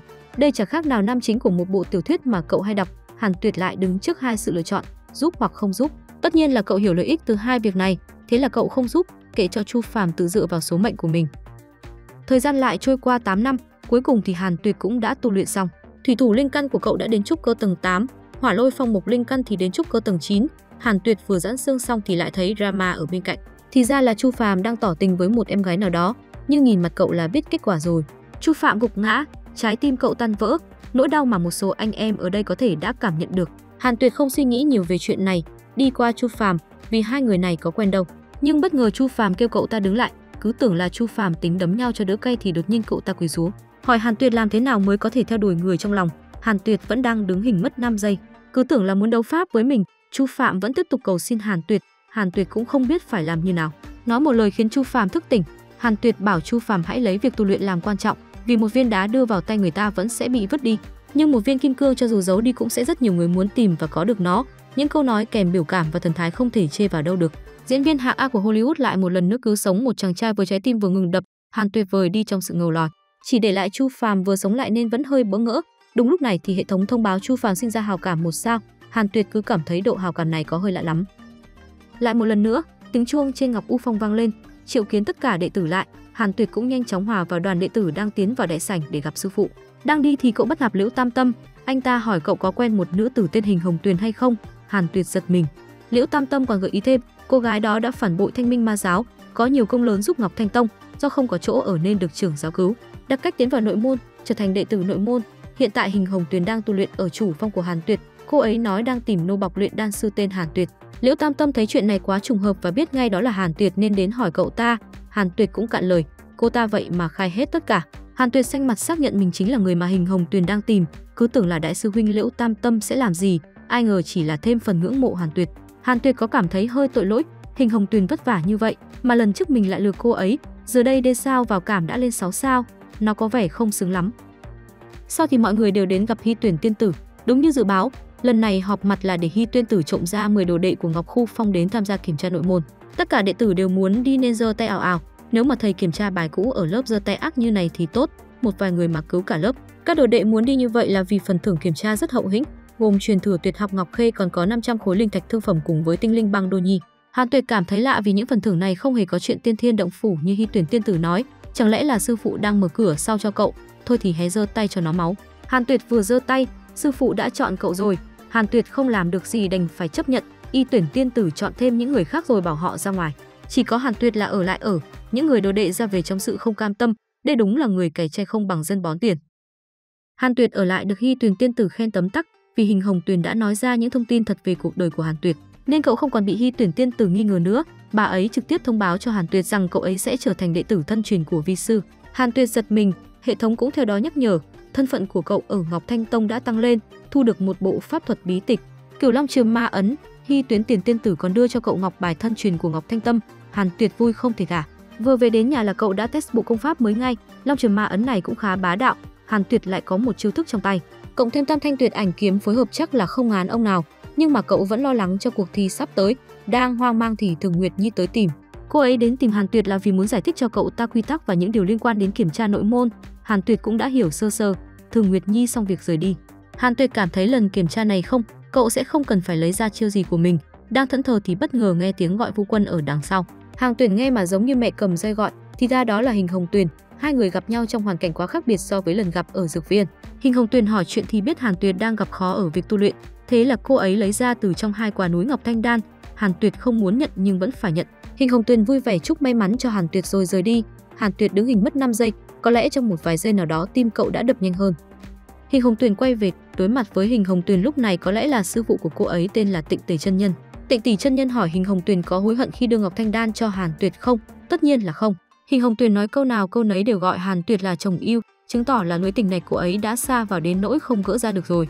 Hình Hồng Tuyên còn giới thiệu Hàn Tuyệt không phải là một người bình thường, Tịnh Thể chân nhân cũng có phần tò mò, bà ấy muốn xem Hàn Tuyệt là người như thế nào mà lại dã man như vậy. Cuối cùng thì ngày kiểm tra nội môn cũng đã đến, Hàn Tuyệt không ngờ là lại đông như vậy, lần này cậu làm thế nào để diễn cho mọi người không chú ý đến mình, ca này khó thật rồi. Lúc này hệ thống còn thông báo nhiệm vụ, cậu lại có hai sự lựa chọn, một, giành chiến thắng một cách vang dội, danh chấn Ngọc Thanh Tông, có được 1000 viên linh thạch thượng phẩm. Hai, khiêm tốn và được top 3, cố gắng hạ thấp ảnh hưởng, phần thưởng của Hàn Tuyệt là một kiện linh bảo một. Hàn Tuyệt suy nghĩ một hồi, không ngờ lựa chọn thứ hai lại giống như Hàn Tuyệt, cố gắng hạ thấp bản thân, không để ai chú ý mà làm phiền. Lần này hệ thống quá hiểu cậu rồi, Hàn Tuyệt không ngại chọn lựa chọn thứ hai. Với cậu, thể hiện bản thân vẫn không bằng hèn hạ giữ mạng. Tuy cầu thà nhưng chẳng án thằng nào, chúng ta cũng có thể hiểu vì kiếp trước ông trời lấy đi của cậu quá nhiều, Hàn Tuyệt cũng chẳng sống được bao nhiêu, đến thế giới này, cậu vẫn muốn sống lâu nhất có thể. Ở tập trước, Hàn Tuyệt đã được sư phụ của mình cho đi thi đấu kiểm tra nội môn của Ngọc Thanh Tông. Hàn Tuyệt đi thi với một tâm thế cực kỳ thoải mái, cậu không muốn lấy top 1, chỉ cần đứng trong top 3 là hài lòng. Hàn Tuyệt bắt đầu vào trận đấu đầu tiên, đối đầu với nhân giáp của Chu Phong Lộ. Trên khán đài người cổ vũ cậu cũng không nhiều, chỉ có những người biết sự thật về thực lực của cậu, trong đó tất nhiên là có hai anh em Mạc Phục và Mạc Trúc. Bọn họ tưởng tượng trận đánh của Hàn Tuyệt sẽ oai phong thế nào thì hiện thực nó lại ngược lại bằng đấy. Hàn Tuyệt giả vờ mình yếu kém để cho nhân giáp đánh đến chán tay thì thôi, khán giả cũng rất chán, ngồi chưa ấm đít đã bỏ đi xem trận khác, hai anh em nhà kia cũng cạn lời. Chả hiểu người mình đang hâm mộ làm cái trò gì, Hàn Tuyệt ở dưới sân thật ra là vẫn đang diễn, cậu đợi khán giả và những vị giám khảo chán nản không chú ý đến mình. Rồi mới nhân cơ hội đó ra một cú đấm hơn cả Saitama đưa nhân giáp ra khỏi đấu trường, nhìn Hàn Tuyệt chiến đấu mà đầu hai người anh em kia xoay vòng vòng. Đồ bọn họ còn dây tiếp vài vòng khi những trận tiếp theo, Hàn Tuyệt đều diễn hay như trận đầu, cậu đợi đến khi mọi người và giám khảo chạy mất mới ra đòn kết liễu đối thủ. Hàn Tuyệt sau màn diễn kia rất vừa ý, cậu là một con người cẩn thận, dù biết mình mạnh nhưng để đề phòng bất chắc cậu vẫn sẽ nhân cơ hội mà tăng tu vi thực lực. Đang ngồi thanh tĩnh tu luyện, Hàn Tuyệt lại phát hiện ra có gì đó rất lạ, không có gió mà lá cây lại rung, chẳng lẽ lại là hệ sinh thái ở Bình Dương. Hàn Tuyệt tĩnh lặng trong một giây, rồi dùng cửu long trường ma ấn giáng xuống thứ quỷ dị kia, sau đòn đó thì nó vẫn còn tàn dư. Thứ đó là một tia sáng hắc ám nhỏ đang cố chạy trốn, tất nhiên là Hàn Tuyệt không thể để con yêu nghiệt đó chạy, liên tục tấn công, thứ ánh sáng hắc ám kia bị tấn công liên tục, không chạy được, dừng lại van xin Hàn Tuyệt tha. Hàn Tuyệt thấy thứ này còn có linh trí, tính tiễn nó về trời luôn thì thứ kia hiên nguyên hình đó là một ông lão. Ông ta nói mình là Thái thượng trưởng lão Ngọc Thanh Tông, Hàn Tuyệt giật mình nhẹ, không hiểu Thái thượng trưởng lão nửa đêm nửa hôm lại đi loanh quanh thế này làm gì. Thái thượng trưởng lão rất màu mè, nói rằng mình đi tu luyện thứ công pháp thần thông, thứ mà không phải ai cũng có thể hiểu được. Ngoài mặt thì cao thượng thế nhưng trong lòng ông ấy cũng phải thấy may mấy phần. Vì lúc nãy không hiểu Hàn Tuyệt đã dùng pháp thuật quỷ quái gì, tí nữa là khiến nguyên thần của ông bị câu diệt, cho dù bản thể tới cũng chưa chắc đã chịu được. Hàn Tuyệt thấy ông già này rất lòng vòng, đang bận tu luyện nên cậu quay về, định là sẽ nói chuyện này lên cho Y Tuyền Tiên tử xem. Thái thượng trưởng lão hốt hoảng, ngăn Hàn Tuyệt lại, nói rằng mình là sư phụ của Y Tuyền Tiên tử nên không cần phải bẩm báo chuyện này lại. Ông ta còn học phóng ngỏ ý truyền thừa lại Thiên Cương Kim Thân, một bộ công pháp mà chỉ có ông ấy và trưởng giáo biết, nghe có vẻ rất căng và mạnh. Nên là Hàn Tuyệt không muốn nó. Thái thượng trưởng lão khá cay khi có người chơi bộ công pháp của mình, thôi thì hai ông cháu tạm biệt nhau. Đó là câu chuyện mà Hàn Tuyệt kể cho Hy Tuyền Tiên tử. Hy Tuyền Tiên tử cũng cạn lời với người sư phụ của mình. Hàn Tuyệt vẫn an tâm nhất với sự bảo vệ và chu đáo của sư phụ. Cậu ấy hỏi Huy Tuyền Tiên tử về thông tin của bộ Thiên Cương Kim Thân. Hy Tuyền Tiên tử có hơi ngại, nói rằng nó là công pháp mạnh nhất của Ngọc Thanh Tông, nhưng mà phải cắt bỏ cái chi thứ năm đi mới luyện được, mà cái chi thứ năm là cái gì thì anh em tự hiểu nhé. Và nói đến đây cũng có thể biết, trưởng giáo là Lý Khanh từ lần trước Hàn Tuyệt gặp và Thái thượng trưởng lão đã bị mất, mất gì thì anh em cũng tự hiểu luôn nhé. Hàn Tuyệt cũng rất bất ngờ vì chuyện này, không ngờ chỉ vì tu luyện bộ công pháp đó mà thẳng tay cắt luôn đi, nghe thôi mà đã thấy sợ rồi. Ở thành trì nội môn, cuối cùng thì cuộc quyết đấu của 10 người mạnh nhất trong cuộc khảo hạch nội môn chính thức bắt đầu. Ở đây, cả tông xem trận chiến, đội cổ vũ của các phong là rất nhiều, lần này thì cậu sẽ phải trực tiếp ra tay rồi. Đang ngẩn ngơ trước sự hào nhoáng của tông môn thì Thường Nguyệt Nhi cùng các anh em của Ngọc U Phong đã đến, bọn họ sẽ là những người cổ vũ tiếp thêm tinh thần cho Hàn Tuyệt. Một lúc sau thì Mặc Trúc đến cổ vũ cho Hàn Tuyệt, Thường Nguyệt Nhi thấy có con vợ khác đến trên chỗ cổ vũ chồng tương lai tất nhiên là không chịu được. Nói cô ta là phát triển đủ lớn không thì Hàn Tuyệt sẽ vào tù. Thường Nguyệt Nhi và Mặc Trúc tranh chiến chưa đủ, Hình Hồng Tuyền còn xuất hiện, dõng dạc gọi hai tiếng chồng yêu ơi trước mặt hai con vợ kia, ba người tia nhau như sắp nhảy bổ vào cắn xé vậy. Hàn Tuyệt lụi một chỗ chẳng biết phải giải quyết như thế nào. Bỏ qua mấy chuyện lặt vặt đó, Hàn Tuyệt sẽ phải đối mặt với Chu Phàm của Thiên Lôi Phong. Chu Phàm giờ đây đã khác, Tiên Thiên Linh Bảo trong người hắn đã hồi phục thành công, thể hiện một bộ mặt khác trong tông môn, trở thành chiến thần giống như mấy em trẻ châu solo trong làng. Chu Phàm có sức mạnh trong tay. Tất nhiên con người cũng khác, hắn ta đứng đối mặt với Hàn Tuyệt mà như kiểu mình đang làm bố, vừa thách thức vừa phô diễn ra thứ Tiên Thiên Linh Bảo kia, chấp Hàn Tuyệt sẽ ra đòn trước. Hàn Tuyệt thấy thằng cu này mới có được hàng ngon mà đã gái khét, cậu sẽ cho hắn vừa lòng. Hàn Tuyệt mang ra ba cây tuyệt ảnh kiếm của mình. Chu Phàm lắm trong tay Tiên Thiên Linh Bảo nhưng không hiểu tại sao trong lòng vẫn thấy sợ. Hạnh nhớ lại những gì mà Mà Phục đã nói với mình về tiềm lực, về tư chất của Hàn Tuyệt. Chu Phạm nghĩ đến đây thì không can lòng, không chấp nhận sự thật này, giống như bao anh em FA khác, hắn bùng lên, tạo ra một vòng phòng ngự tự kêu là tuyệt đối. Hàn Tuyệt vẫn thản nhiên, cậu chưa cho những người khán giả nhìn cái thứ sức mạnh của Chu Phàm lâu, trực tiếp dùng ba cây tuyệt ảnh kiếm của mình đánh văng Chu Phàm ra ngoài sân đấu. Hàn Tuyệt là người chiến thắng trong trận đấu này, Chu Phàm thua, nhưng hắn vẫn không phục lắm, đúng là thắng làm vua thu nghĩ đều. Những người thắng tiến vào top 5, vì lẽ một người nên sẽ bốc thăm để trộn ra người tiến thẳng vào vòng trong, bốn người còn lại sẽ hai đấu hai. Mọi người cùng nhau bốc, Hàn Tuyệt với tuyệt đỉnh khí vận, bốc bừa cũng được thể được chọn là người vào thẳng vòng trong tam cường. Hàn Tuyệt trở thành người tiến thẳng, bỏ qua một trận, bốn người còn lại tiến hành đấu bán kết, hai trận đấu pháp đều vô cùng tuyệt diệu, làm cho người bình thường không nhìn ra được. Bốn tu sĩ hệ tinh thần đấu với nhau nhưng chỉ đứng yên, vì tinh thần của họ mới chiến đấu, mà nếu ai nhìn ra được thì có thể xem được một trận đấu vô cùng hay đúng nghĩa. Còn không xem được thì chỉ nhìn thấy hai thằng dở hơi đang đứng đối diện với nhau. Sau một hồi quyết đấu căng thẳng, ba người giỏi nhất đã được tìm ra. Đạo lôi lão chưa kịp tuyên bố quy tắc thi đấu thì Hàn Tuyệt đã giơ tay nhận thua. Mục tiêu của cậu đã hoàn thành. Nếu tiếp tục chiến đấu thì có thể gặp nguy hiểm, nên cậu không suy nghĩ nhiều, trực tiếp nhận thua luôn. Mọi người rất bất bình với quyết định này, nhưng đó là mục tiêu của Hàn Tuyệt. Cậu chỉ cần vào tới top 3 là có được phần thưởng như Hy Tuyền Tiên Tử nói. Kết thúc trận đấu chung kết, Hàn Tuyệt cùng hai thứ hạng khác đi nhận thưởng. Cậu cũng đã hoàn thành nhiệm vụ mà hệ thống giao cho. Khiêm tốn giành được hạng 3, phần thưởng là một kiện linh bảo thất phẩm kim tàm huyền thần y, một chiếc áo bảo hộ mạnh vô cùng, có thể tránh được một kích của hóa thần cảnh. Phải nói là đỡ hai chiêu phóng lợn của các anh Hải Phòng xong vẫn cười tươi bình thường. Đạo lão tiên dẫn Tam Vương lên núi chính gặp tỉnh Tỷ chân nhân để nhận phần thưởng, đúng như lời Hy Tuyền tiên tử nói, phần thưởng là động phủ tiên thiên. Do người hạng nhất chọn trước, ba tòa động phủ tiên thiên mỗi cái tọa lạc bên rìa dãy núi bên ngoài 18 phòng của Ngọc Thanh Tông. Vì vị trí khá bí mật, những quả cầu ánh sáng đến từ động phủ này sẽ chỉ dẫn đường cho ba người. Sau này động phủ ở đâu, cả ba đều có thể tọa chấn ở đó, cũng có thể nói bọn họ sẽ làm bảo vệ ở chỗ đó. Người hạng nhất chọn trước, cậu ta chọn tòa động phủ tiên thiên thứ nhất, có hỏa linh khí phong linh khí cực nồng đậm, người thứ hai chọn tòa động phủ tiên thiên có thủy hỏa mộc linh khí khá nồng đậm. Còn cái cuối cùng dành cho Hàn Tuyệt là một cái động phủ tiên thiên có linh khí rất hỗn tạp, đi hỗn tạp nhưng nó lại rất hợp với Hàn Tuyệt, vì cậu tu luyện nhiều thuộc tính. Hàng Việt theo thứ ánh sáng kia, và động phủ tiên thiên, nơi này cái gì cũng có, chỉ là có cũng như không, do đợt trước anh em MU ở đây ở nên hơi bừa bộn, Hàn Tuyệt chả bận tâm điều đó nhiều. Cậu lôi ra kim tầm huyền thần y, mặc nó vào thì chiếc áo lại khô quạnh, nhìn ngoài thì tưởng không mặc gì, nhưng thử đấm Hàn Tuyệt một cái mới biết cậu đang mặc long bào. Mọi thứ đã được chuẩn bị, từ ngày mai nơi đây sẽ là nhà của nam chính, Hàn Tuyệt đã khắc tên ở bên ngoài để cho ai đi qua cũng biết đây là nhà của mình. Mà những vị khách đầu tiên cũng đã đến, Chu Phàm cùng Mặc Phục đến rủ Hàn Tuyệt đi làm nhiệm vụ ít nhiệm vụ lấy phần thưởng, tất nhiên là Hàn Tuyệt sẽ không đồng ý. Động phủ tiên thiên mới khai trương còn đầy linh khí cậu còn chưa tu luyện, mang gì đến mấy cái nhiệm vụ cày trai đầy nguy hiểm kia. Hàn Tuyệt định quay trở lại trong hang thì bị Mặc Phục ngăn lại. Hắn ta nói sẽ đưa độ kiếp đan cho Hàn Tuyệt để cậu ta có thể đột phá lên kim đan cảnh. Hệ thống lại lên thêm cho cậu sự lựa chọn nhiệm vụ, đồng ý bọn họ được một viên linh thạch hạ phẩm. Từ chối bọn họ, có được một món pháp khí, khỏi cần nói cũng biết Hàn Tuyệt chọn cái gì, cậu ta từ chối hai người kia, Mặc Phục và Chu Phạm lững thững đi về. Tự hỏi Hàn Tuyệt cứ bế quan tu luyện mãi như thế thì lấy đâu ra nguyên liệu và cơ duyên, hai thanh niên này càng nghĩ càng khó hiểu, nên thôi không nghĩ nữa, chỉ mong chờ sẽ xem được tập sau. Ở tập trước, Hàn Tuyệt đã từ chối lời mời ngọt sớt của Chu Phàm với Mặc Phục, cậu từ chối cũng vì món quà của hệ thống, một món quà ngon bổ rẻ, dây lưng tiểu càng khôn, dây lưng có tác dụng như túi không gian, sử dụng dây lưng co giãn tự do, không dễ bị hỏng. Thời gian thấm thoát thoi đưa, sau 2 năm tu luyện Hàn Tuyệt đã đưa 6 hệ linh lực tới mức viên mãn nhất để đột phá kim đan cảnh. Bước đột phá này không thể sơ xuất, vì Hàn Tuyệt nghe nói thiên kiếp của kim đan cảnh dễ sinh ra tâm ma, còn có nhiều tác dụng phụ rất nguy hiểm. Vừa bước vào đột phá thì tâm ma trong người Hàn Tuyệt đã xuất hiện, nó định dụ cậu bằng rất nhiều thứ, từ danh lợi đến nữ nhân từ cao đến thấp, lại từ thấp lên cao, nhưng mà chẳng có gì đúng ý nam chính lên cậu vuốt một đường chỉ tiễn cái tâm ma nghèo nàn này đi luôn. Toàn lực đột phá kim đan cảnh, mây đen từ trên trời hội tụ, lục đạo luân hồi mở, kim tàm huyền thần y mở, tiến giai. 7 ngày sau, Hàn Tuyệt đã đột phá kim đan cảnh thành công, có được một thanh kiếm pháp tuyệt phẩm, Kỳ Lân kiếm. Kiếm được chế tạo từ gân cốt của Kỳ Lân, ẩn chứa hồn phách của Kỳ Lân, có hiệu quả đuổi ta của Kỳ Lân. Và thần thông lục đạo hấp hồn đã mở tính năng truyền thừa, vừa đột phá được kim đan cảnh, vừa có được những món đồ tuyệt phẩm khỏi chê. Cảnh giới cao cũng giúp tuổi thọ Hàn Tuyết tăng, cậu ta vui khỏi phải hỏi, vì hỏi nhiều lại đập cho. Hàn Tuyệt đặt ra cho mình mục tiêu 100 năm sau sẽ đột phá nguyên an cảnh, giờ thì nghỉ ngơi thư giãn gần cốt trước đã. Hàn Tuyệt vào xem sự kiện của các bạn bè xung quanh, ở đây có tin không vui, Lý Khanh Tử đã bị ma tu đánh lén nhiều lần. Lẽ nào Thanh Minh Ma giáo đã tập kích Ngọc Thanh Tông? Để trả lời những câu hỏi này thì Hàn Tuyệt đã đi ra khỏi hang để xem bên ngoài thế nào.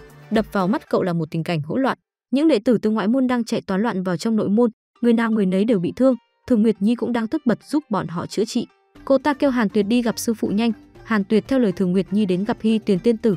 Hy Tuyền Tiên Tử chắc là có hơi giận Hàn Tuyệt, nhưng điều đó không hề quan trọng vào lúc này.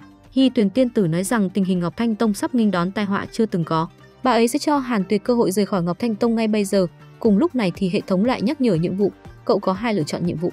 Rời khỏi Ngọc Thanh Tông thì nhận được một bình tụ khí đan, ở lại Ngọc Thanh Tông, chết cùng chết sống cùng sống thì sẽ nhận được một món pháp khí, một cuốn bí tịch pháp thuật.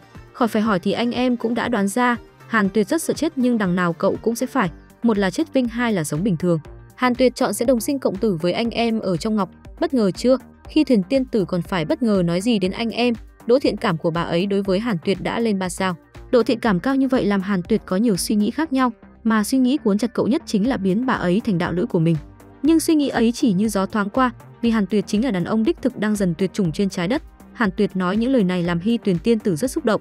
Thường Nguyệt Nhi từ đâu ra nói thẳng là vì sư phụ thấy nam chính bình thường cực kỳ sợ chết nên kêu chạy trước, chứ không phải vì cái gì cao sang khác. Thường Nguyệt Nhi nói câu này bị Hy Tuyền Tiên Tiên Tử gõ cho u đầu. Hy Tuyền Tiên Tử hỏi han về việc tu luyện của Hàn Tuyệt, nhưng mà Hàn Tuyệt tu luyện nhanh như anh em đi xe mất phanh, thì cần gì phải chỉ điểm. Hàn Tuyệt rời đi, Hy Tuyền Tiên Tiên Tử đưa cho Thường Nguyệt Nhi một cái túi chữ vật, nói cô ấy hãy đến giúp Hàn Tuyệt tu luyện. Thường Nguyệt Nhi nhanh như thoát đến nhà Hàn Tuyệt, cô ấy chui vào nhà cậu như trốn không người. Thường Nguyệt Nhi theo lời sư phụ bày bố trận và trồng linh thảo tăng trưởng linh khí trong động phủ cho Hàn Tuyệt. Trận pháp có rất nhiều công dụng, có thể che giấu cửa động, cưỡng chế đi vào sẽ rơi vào huyễn cảnh. Linh thảo thì không cần chăm sóc, tự nó sẽ tăng phúc linh khí xung quanh. Quả thật Thường Nguyệt Nhi tuy là không có tu vi cao, nhưng làm gì cũng biết, điều này làm Hàn Tuyệt phải bái phục. Thường Nguyệt Nhi lại không nhận những lời cảm ơn từ Hàn Tuyệt. Cô ấy đề nghị mình sẽ qua đây làm bạn với nam chính, còn làm bạn gì thì không ai biết. Hàn Tuyệt đứng dưới hai quả đồi như áp lực để nặng lên vai, cậu nuốt sâu một ngụm nước bọt, hỏi có phải Thường Nguyệt Nhi muốn tu luyện cái động phủ của cậu ấy. Câu hỏi này làm Thường Nguyệt Nhi rất tức giận, nhưng Hàn Tuyệt thật sự nghiêm túc, cậu ta là tâm hướng đạo, có gạo cũng chẳng nấu cơm.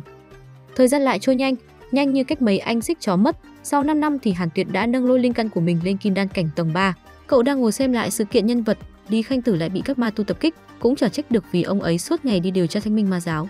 Chu Phàm và Mặc Phục cũng bị ma tù tập kích, Hàn Tuyệt cảm thấy lần trước từ chối bọn họ đúng là quá đúng. Đang loằng ngoằng hệ thống đột nhiên thông báo, nhận thấy tiên thiên khí vận giả, kiểm tra mới biết, hắn tên là Trần Tam Thiên, ma thai trời sinh, có lực thân thiết cực mạnh với công pháp ma đạo, do thời thơ ấu hấu chiến như các anh em báo lửa, cuối cùng gia nhập Thanh Minh Ma giáo, như cá gặp nước. Bây giờ được liệt làm đệ tử hạt tâm của Thanh Minh Ma giáo, Hàn Tuyệt đọc đến chữ đệ tử hạt tâm của Thanh Minh Ma giáo thì rất tò mò, chẳng hiểu hắn đến đây là gì, lại còn chỉ có một mình. Ở ngoài, Trần Tam Thiên trong bộ dạng như ninja Nhật Bản đang ngạo nghễ loanh quanh trước cửa động của Hàn Tuyệt. Hắn vừa đi vừa nói Ngọc Thanh Công là một đám rụt cổ, Hàn Tuyệt đứng trong động sôi máu, cái thằng trẻ trâu trước mặt lại dám gọi mình là rùa rụt cổ. Lần này cậu sẽ cho hắn biết thế nào là món hành xào ớt. Hàn Tuyệt phi ra từ trong động Tam Thanh Tuyệt ảnh kiếm, ba đường kiếm khác màu xé qua người Trần Tam Thiên. Áp lực cực mạnh làm hắn bắn ra xa, lan lông lốc, Trần Tam Thiên dính đòn nhưng vẫn chưa biết đại ca nào đánh mình, chiêu thức còn cực kỳ ma quái. Hoàn toàn không có cơ hội phản kích nên hắn quay xe, cúi đầu xin thua. Hàn Tuyệt khiến hắn thua tâm phục khẩu phục, rồi tốc biến qua sau lưng Trần Tam Thiên, nói ra tên, bí mật ma thai trời sinh và những thông tin bí mật khác của hắn. Trần Tam Thiên như sụp đổ. Quay đầu lại thì chỉ thấy một thanh niên trẻ tuổi mới trúc cơ tầng 9, tưởng rằng đây là đồ đệ vị tiền bối kia nên sách dao lên kè vào cổ Hàn Tuyệt, định lấy cậu ta làm con tim với vị tiền bối kia, nhưng hắn không ngờ vị tiền bối đó lại chính là người mình đang kề dao vào cổ. Trần Tam Thiên cúi đầu xin lỗi Hàn Tuyệt, không ngờ người trẻ tuổi trước mặt mình lại mạnh như vậy. Hàn Tuyệt thì trái lại, cậu không ngờ tên này yếu như vậy. Mới dạ tí mà đã khóc rồi. Hàn Tuyệt đưa tầng cháu Trần Tam Thiên vào trong hang, cậu muốn thu phục hắn vì Trần Tam Thiên là tiên thiên khí vận, thực sự rất có lợi. Đầu tiên Hàn Tuyệt muốn xem Trần Tam Thiên còn ý đồ gì với mình không, cậu cho hắn cơ hội cầm thanh phóng luận đâm 77-49 nhát, nhưng Trần Tam Thiên không dám, sợ quá khóc lên khóc xuống van xin Hàn Tuyệt. Hàn Tuyệt cũng phải cạn lời, cậu bảo hắn ta từ này ở lại trong hang, dọn dẹp trồng linh thảo, tu luyện thì tất nhiên là được, Trần Tam Thiên không dám từ chối. Thời gian cứ thế mà theo gió bay đi, Trần Tam Thiên đã làm ô xin cho Hàn Tuyệt được một năm, hắn rất bồn chồn muốn báo tin cho những trưởng lão của Thanh Minh Ma giáo. Trần Tam Thiên nhìn Hàn Tuyệt ở một góc đang ngồi tu luyện, hắn quyết định sẽ ra tay, những bàn tay còn chưa kịp sờ vào má nam chính thì đã bị phát hiện.